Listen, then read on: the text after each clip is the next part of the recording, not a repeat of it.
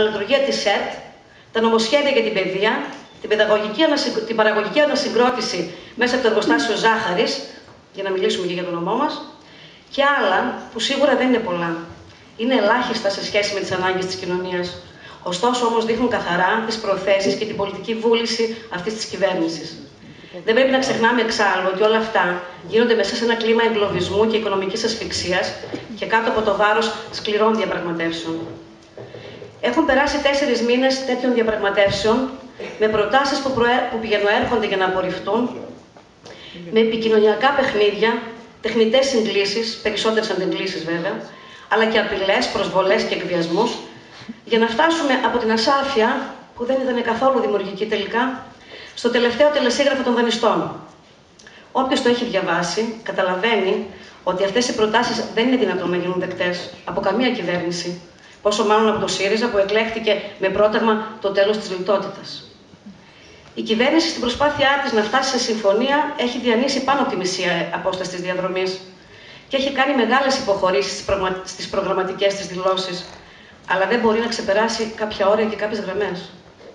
Προσπαθεί να κρατήσει τα πλεονάσματα χαμηλά, να μην κόψει μισθούς και συντάξεις, να μην ανεβάσει το συντελεστή ΦΠΑ για το ηλεκτρικό ρεύμα, και να βάλει στο τραπέζι την αναδιάθρωση του χρέους και τη βάση για ένα ισχυρό επενδυτικό πρόγραμμα. Όμως οι δανειστές δεν είναι ικανοποιημένοι. Ζητούν πλήρη υποταγή. Πλήρη. Είναι ξεκάθαρο πια ότι το πρόβλημά τους δεν είναι μόνο οικονομικό, αλλά μέσα από ένα παιχνίδι ακραίας πολιτικής, οι εταίροι μας, μαζί με τις εγχώριες εταίρες τους, επιδιώκουν να εξευτελίσουν την κυβέρνηση και το ΣΥΡΙΖΑ και να τελειώνουν οριστικά με αυτό που λέγεται αριστερή παρένθεση. Επιπλέον καταλαβαίνουμε ότι ακόμα και αν κάνουν κάποιες μικρές υποχωρήσεις προσωρινά, δεν θα κάνουν ποτέ πίσω στους στρατηγικούς τους στόχους. Σε αυτές τις πραγματικά δύσκολες συνθήκες, η κυβέρνηση και το κόμμα πρέπει να στραφεί στην κοινωνία. Να βρεθεί με την κοινωνία, να την ακούσει. Είναι η μόνη στήριξή της. Και η κοινωνία όμως πρέπει επιτέλους να μπει ενεργά στην πολιτική και να συμμετέχει στη διαμόρφωση πολιτικών αποφάσεων και λύσεων, γιατί η μόνη ελπίδα και για αυτήν παραμένει ο ΣΥΡΙΖΑ. Μέσα από αυτή την αμφίδρομη σχέση πρέπει να στηθούν συμμαχίες και κοινά μέτωπα. Και αυτό δεν μπορεί να γίνει ούτε με κυβερνητισμούς, ούτε με συμπεριφορές βουλευτών και στελεχών που θυμίζουν παλαιοκομματικές τακτικές. Οι βουλευτές, όπως και τα μέλη του κόμματος, είναι οργανικά κομμάτια της τοπικής κοινωνίας, την οποία τροφοδοτούν με ενημέρωση και πληροφόρηση και να τροφοδοτούνται από αυτήν. Είναι ενεργοί υποστηρικτές μιας αριστερής πρότασης για τη σωτηρία τη. Για να λύσουμε τα προβλήματα της ρευστότητας αλλά πάνω απ' όλα να αρχίσουμε να ασχολούμαστε ουσιαστικά με το μεγάλο ζήτημα της παραγωγικής ανασυγκρότησης της χώρας μας. Μόνο μέσα από αυτή τη διαδικασία θα μπορέσουμε να δημιουργήσουμε εκείνες τις προϋποθέσεις, να απεμπλακούμε από ανάγκες οι οποίες μας οδηγούν μερικές φορές να συμφωνούμε σε πράγματα τα οποία δεν αντιστοιχούν ούτε στις προεκλογικές μας δεσμεύσεις, αλλά ούτε και στο πρόγραμμα του ΣΥΡΙΖΑ. Μια παραγωγική ανασυγκρότηση που θα στηριχθεί στα πλουτοπαραγωγικά πλεονεκτήματα της χώρας μας και φυσικά στον αγροτικό τομέα, στην ανάδειξη του αγροδιατροφικού μοντέλου σαν κυρίαρχο εργαλείο. Η προηγούμενη κυβέρνηση δεν έκανε τίποτα για να στηριχθεί ο αγροδιατροφικός τομέας. Είναι χαρακτηριστική η δήλωση του Επιτρόπου Οικονομικών του κ. Μοσκοβισή ότι η χώρα μας είναι πολύ πίσω στο θέμα της απορροφητικότητας του προγράμματος ανάπτυξης από το 2007 έως το 2013. Το Υπουργείο έχει ήδη προβεί σε όλες τις απαιτούμενες ενέργειες προκειμένου τα αναπορόφητα ευρωπαϊκά κονδύλια του 2014 να μην χαθούν οριστικά για τη χώρα, αλλά να μας δοθεί η δυνατότητα απορρόφησής τους. Η μέγενη αυτή έχει, πηγάζει, έχει δύο κομμάτια, όπως είναι όλες οι μέγενες. Έχει το κομμάτι της ρευστότητας και της χρηματοδότησης.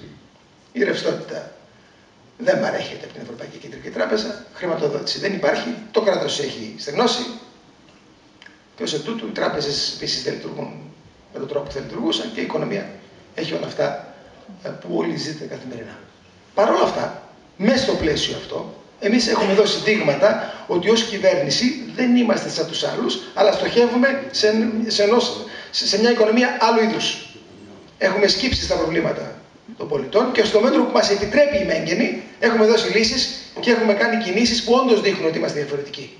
Για το όνομό μας, ένα βασικό ζήτημα που και λιγότερο την άουσα αλλά και περισσότερο τον κάμπο είναι φυσικά το θέμα της ζάχαρης, της βιομηχανίας ζάχαρης.